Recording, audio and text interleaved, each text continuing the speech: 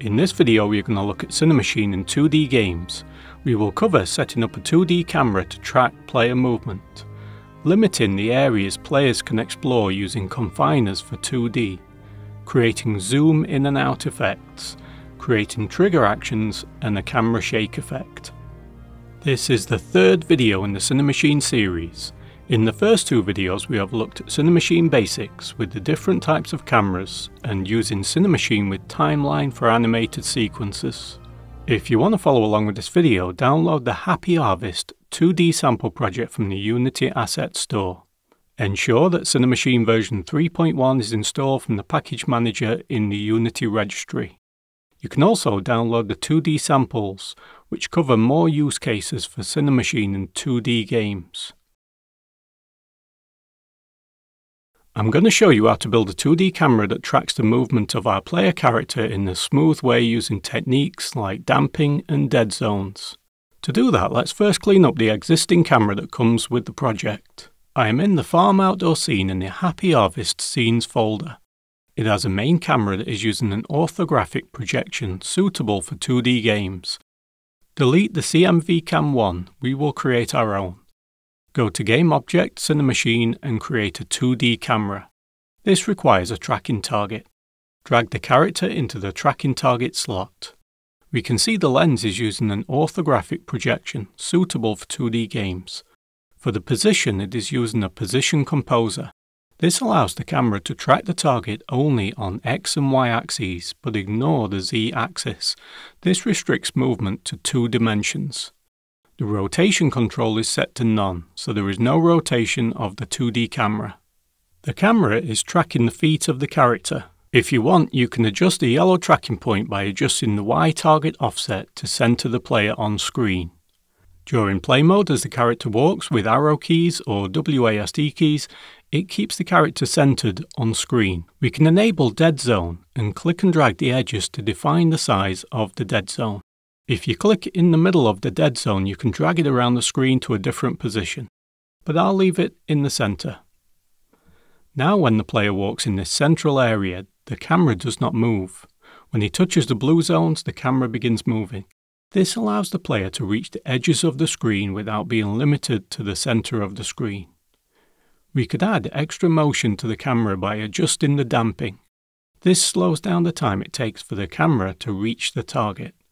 At 1, it moves quickly to keep up with the player, but if I set the X and Y to 5, it will now take much longer. During play mode, the camera moves slowly to track the player, but notice the player can walk off the screen.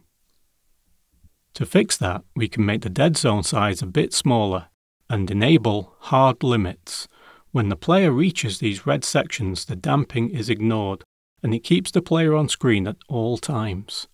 During play mode, we have damping in the blue section, but now the player cannot exit the screen when reaching the red section. Now we have the damping, but without losing the player when he reaches the edge.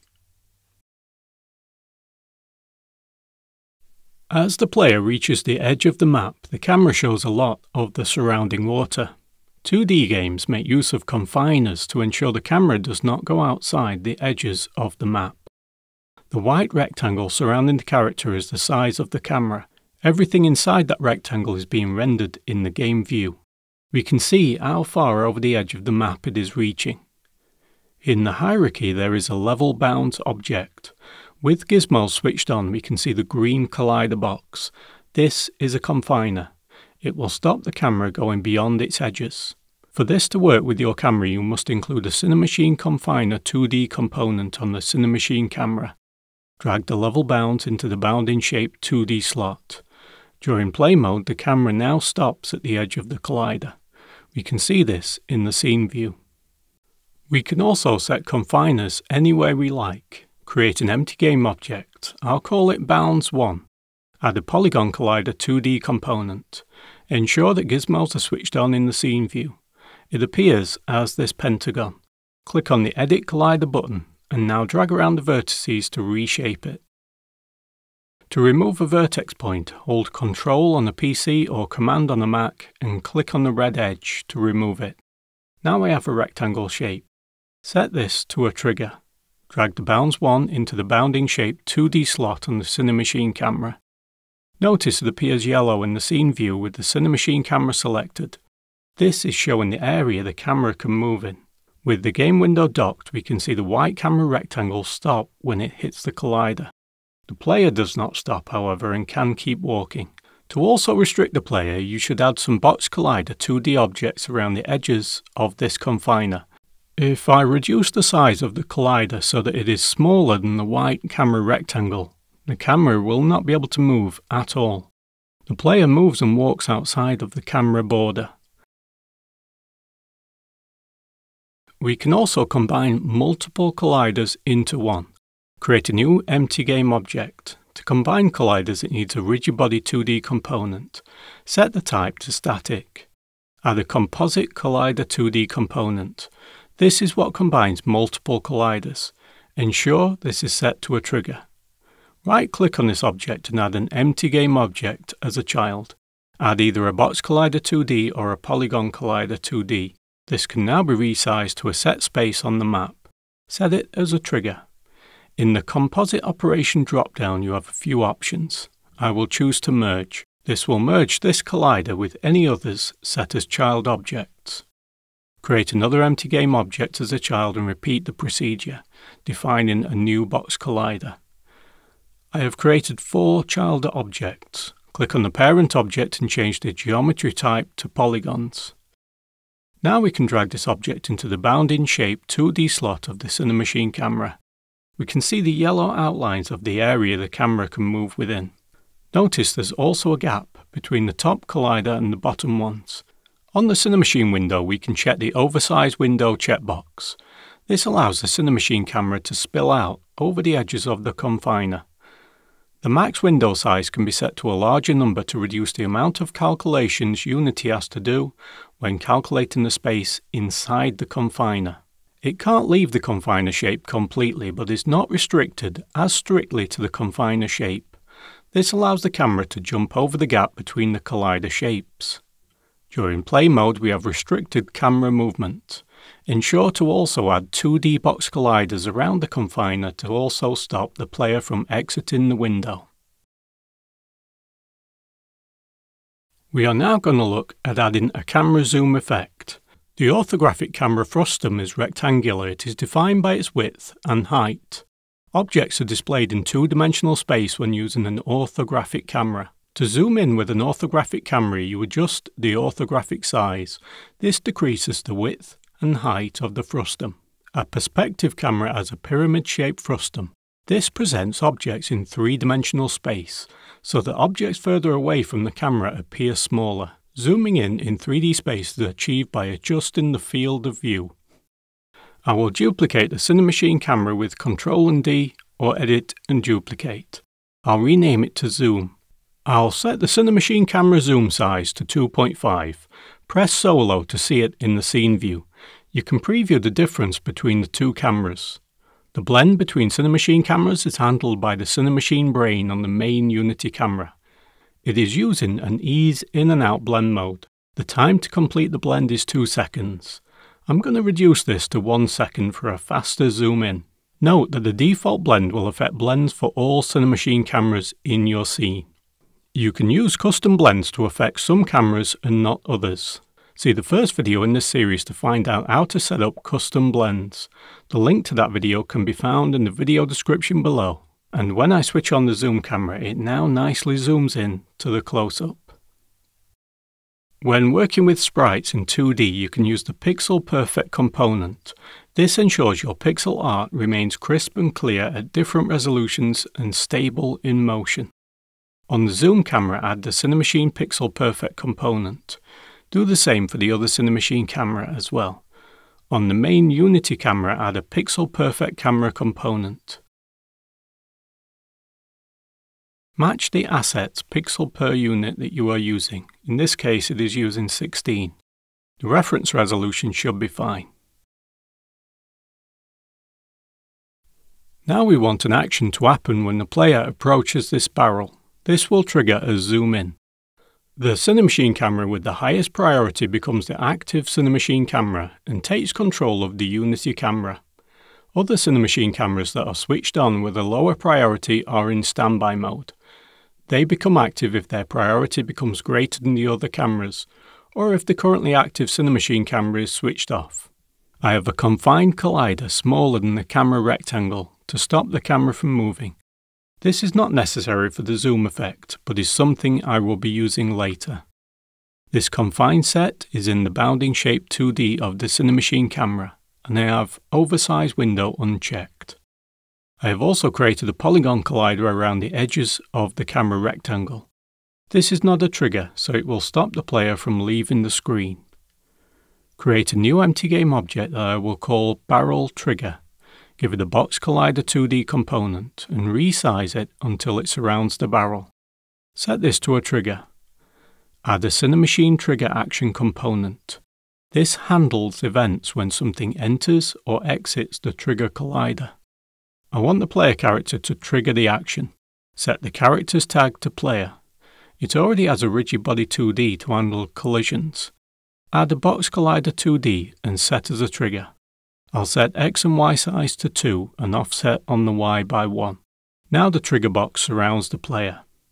On the barrel trigger, check the Is tag option and choose player. Now only the player can set off this action.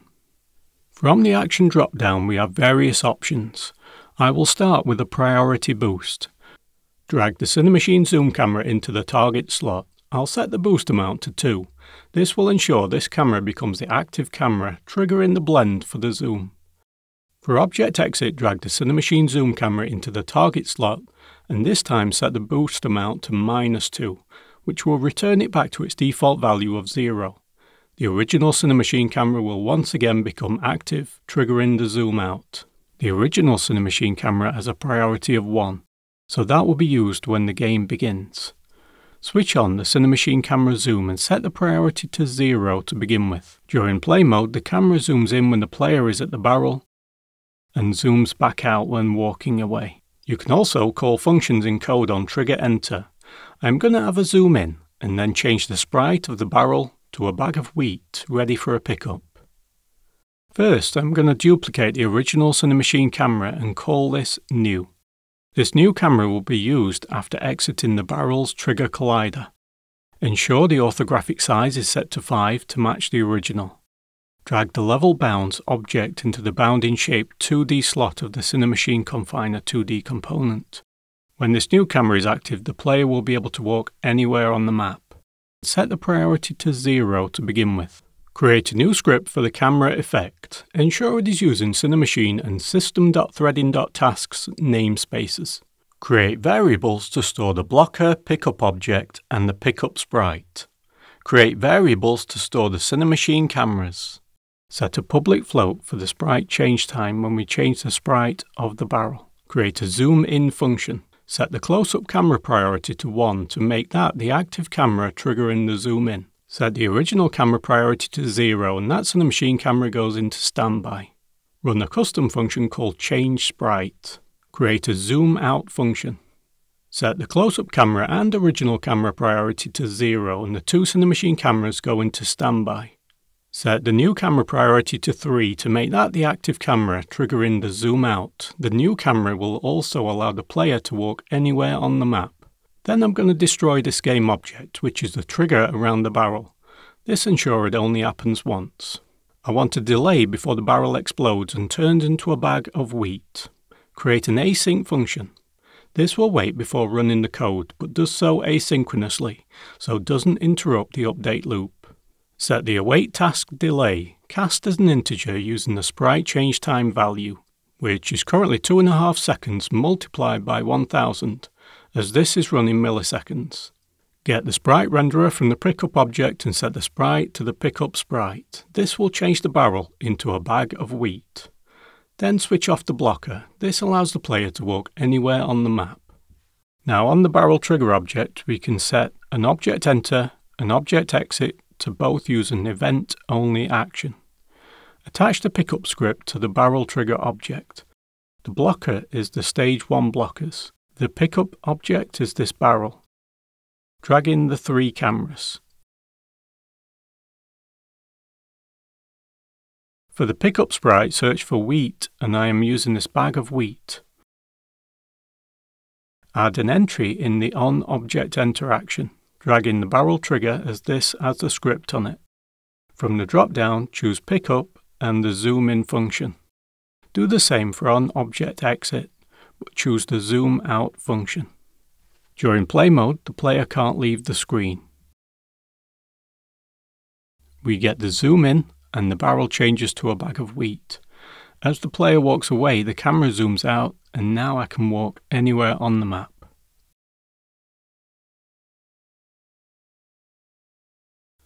We can add an extra effect when the barrel changes into a bag of wheat. I want a camera shake, almost like the barrel explodes to reveal the bag of wheat inside. On the barrel trigger add a component of Cinemachine Impulse Source. You can create different types of impulse which produce various movement or shaking effects. There are a range of impulse shapes, or you can define your own. I will choose Explosion. You can set the length of time this impulse will last. I'll set this to 0.3 seconds. Now our Cinemachine Zoom, which is the active camera at the time of the impulse, needs a Cinemachine Impulse Listener component. I will check 2D distance. Gain is used to determine the power of the impulse. A gain of 1 multiplies all values by 1. A value less than 1 reduces the strength. A gain of greater than 1 increases it. For the reaction settings you can add a secondary noise. This helps to make the shake more dynamic and less rigid. I will choose a 6D shake from the presets. This will work alongside the explosion noise to add random movement. To increase the effect of the 6D shake, increase the gain amounts. Now we need to call the impulse effect. We can do this in code. Get the component of Cinemachine Impulse Source and run the Generate Impulse function. During play mode we now get a nice camera shake when the barrel changes into wheat. If you are interested in making 2D platform games, ensure the Cinemachine 2D samples are installed from the package manager. In the Samples and Cinemachine folder, you will now find 2D samples and the 2D platformer scene.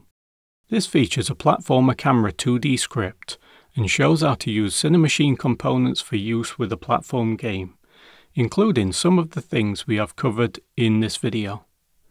In the next video we are going to look at player input cameras, where you control the camera movement with player input.